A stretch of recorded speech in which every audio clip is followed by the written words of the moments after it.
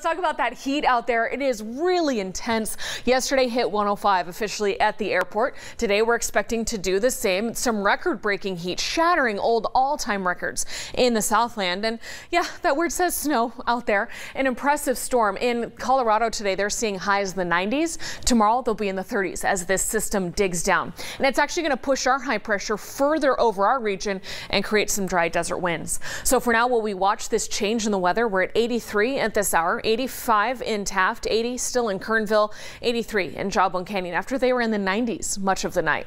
So with all of this heat, the excessive heat warning continuing until 9 p.m. tonight for all of Kern County. And then up into our mountains, a new area of pink. This is our fire weather warning, also called a red flag warning, in effect until 11 p.m.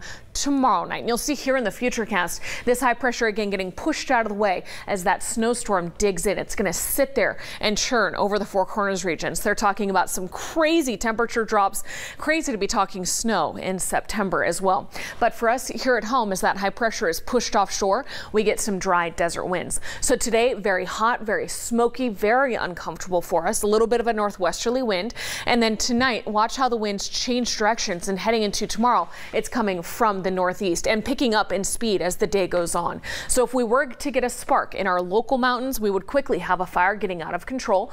But of course, we are also quite concerned about the SQF complex fire fire burning just to the north of the Kern County line and the Creek Fire up by Shaver Lake, which has been ravaging the area this weekend. These erratic winds will fan the flames of those fires.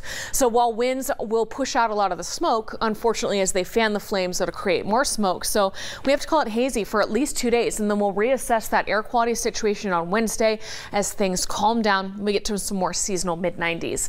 I know I was mentioning snow for our friends in Colorado. We don't get any of that here at home, but at least it will be more seasonal seasonal sunshine across the board as we head into the weekend and then a bit warmer early next week, but no record breaking heat out there. The Kern River Valley 103 today, 98 tomorrow, and then 90 on Wednesday. Tehachapi and Frazier Park, you do have some 80s in sight, more seasonal for the end of the week into this weekend, but we still have two pretty nasty days to get through up there. Make sure that you're staying very fire aware. If you see any smoke at all, call the fire department right away so they can respond.